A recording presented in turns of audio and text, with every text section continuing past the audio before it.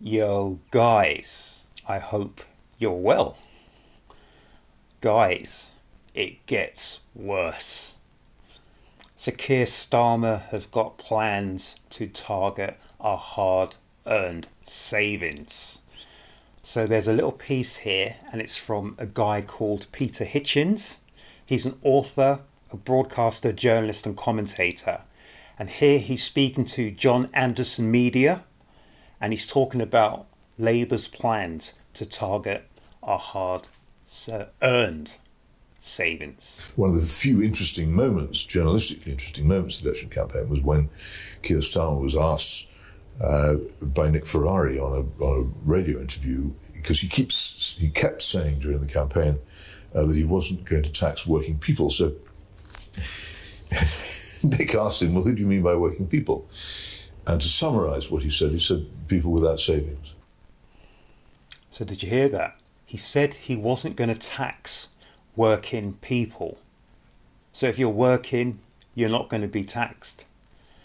So he said, Who are working people? Can you define working people? And apparently, Sir Keir Starmer says working people are people who have no savings, NO, no savings. So if you have savings, people, you are now eligible to be taxed.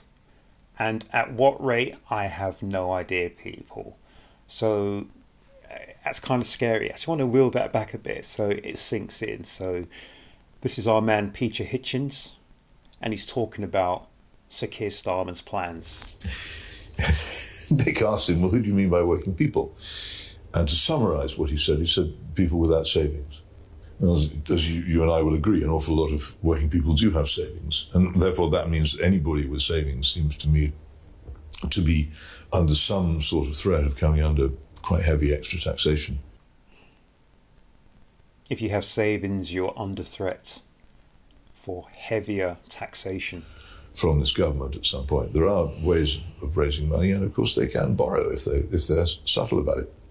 I agree with you, the, the levels of borrowing, the levels of spending, the, the enormous numbers of people being, being paid to do nothing are astonishing, and the, the, the general economic statistics of this country are deeply dispiriting, but that won't necessarily stop them. Also, so he said there's increasing amounts of people in this country who are being paid to do nothing.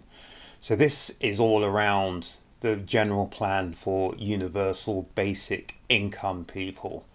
Because I think they've changed job seekers allowance and all these other credits and all these other areas that people benefits that people are entitled to or are eligible to to be under the one umbrella under universal credit. But i think at some point it's going to become universal basic income. And basically that is the approach that i believe that a lot of countries or so-called forward thinking people are talking about for not just this country, not just other European countries, but most countries in the world, for the majority of the population to be under universal basic income, basically paid to do nothing, and they'll be given a stipend, which will be decided by these forward thinking people that they believe that the average human being can live on. But they will be doing nothing, they won't be working, and they'll be happy doing nothing that is what I believe is the agenda. But I'm just going to wheel it back and let Peter Hutchins continue. Paid to do nothing are astonishing, and the, the, the general economic statistics of this country are deeply dispiriting. But that won't necessarily stop them. Also, there are areas where they can, um, in the medium term, I think, uh, raise quite a lot of money, and the through some sort of wealth tax. Uh, my own guess is that they will probably weaponize um, local property taxes, what we call council tax here, uh, which has been left untouched by governments for a very long time. The, the so he said that they may weaponize your council tax and your council tax bills. So, for instance, you could be in a band A through D, E, whatever, paying a certain amount. But if Sir Keir Starmer and his cronies get hold of your council tax, it could be a whole new ball game, people. A whole new ball game. Uh, my own guess is that they will probably weaponize uh, local property taxes, what we call council tax here, uh, which has been left untouched by governments for a very long time. The, the, it's based on ancient valuations of houses and could be greatly, greatly increased as a, as a as a, as a reservoir of money from which the government could draw. A reservoir of money from which the government can draw. Rule it out by any means in the election campaign. And they haven't ruled it out by any means in the election campaign. So when Peter Hutchins was talking about, is that his name, Peter Hutchins? Hope I've got that correct. Oh, sorry, Peter Hitchens, excuse me. When he was talking about the government, because they're the government now, at the time, I think, of this interview, it was during or before the general election. So I think this was a couple of months back, people. But Peter Hitchens was suggesting that Sir Keir Hardie would be looking at our savings, going through our council tax, etc. And I looked, I've got a council tax bill here, people, and I assumed, because I thought, I'm certain I used to see the breakdown of what our council tax was paying, but apparently no longer. It's just the revenue service, isn't it, really? They don't break down. Normally, on an invoice and a bill, you'll get a breakdown of what they're charging you for and what your money is going towards. So there, there is a tiny breakdown here, but not the more complete breakdown which I've used to see. So here, I'm paying a council tax, a Greater London Authority tax, and an adult social care tax. But I seem to remember from seeing a bill before that part of our council tax people is used to pay for the police and the fire service as well as other amenities like your public services, your schools, your libraries, your roads, etc. etc.